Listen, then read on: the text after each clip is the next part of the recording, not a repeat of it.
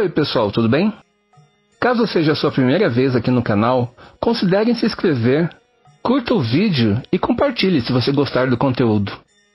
E se você já faz parte de nossa família e quer ajudar na nossa produção de vídeos, seja membro. Isso contribuirá para que aumentemos nossas pesquisas e qualidade dos vídeos.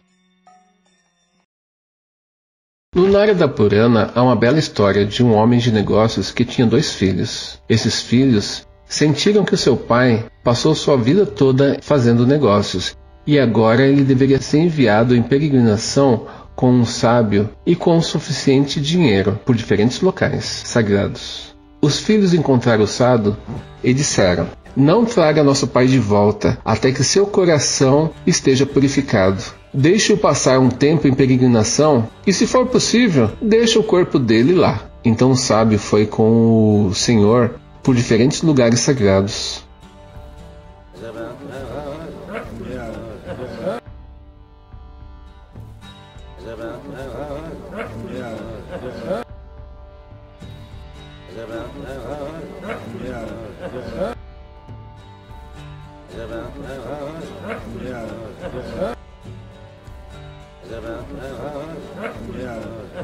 O sábio acabou ficando frustrado porque o coração daquele homem de negócios não tinha mudado.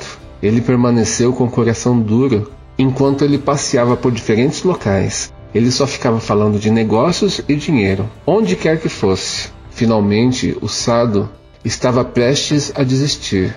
Então ele mandou mensagem para os filhos. Seu pai é um grande empresário e é muito difícil de mudar. E os filhos disseram: Não, não, você não pode desistir, você ainda deve tentar. Então, como último recurso, ele levou para a cidade sagrada de Varanasi. E lá eles passaram por diferentes locais, por ghats, locais de crematório, e assim que o empresário entrou num crematório, ele viu tantos cadáveres queimando nas toras de madeira que ele começou a chorar. Lágrimas encheram seus olhos e ele começou a derramar em suas bochechas. O sado ficou muito feliz ao ver o velho com desapego no final. E ele se virou para o velho e colocou a mão em seu ombro e disse: O que você sente agora? Como você está se sentindo sobre sua vida? O empresário disse: Eu realmente me sinto mal, me sinto péssimo, desperdicei minha vida. O sábio ainda perguntou: Sério? Por que você se sente péssimo? Diga-me. O empresário respondeu: Fui comerciante de tecidos durante toda a minha vida. Se eu soubesse que a tanta procura por madeira, eu teria feito negócio com madeira. Como desperdicei minha vida inteira, estou me sentindo muito mal por causa disso. O sado deixou o homem lá e foi continuar sua peregrinação.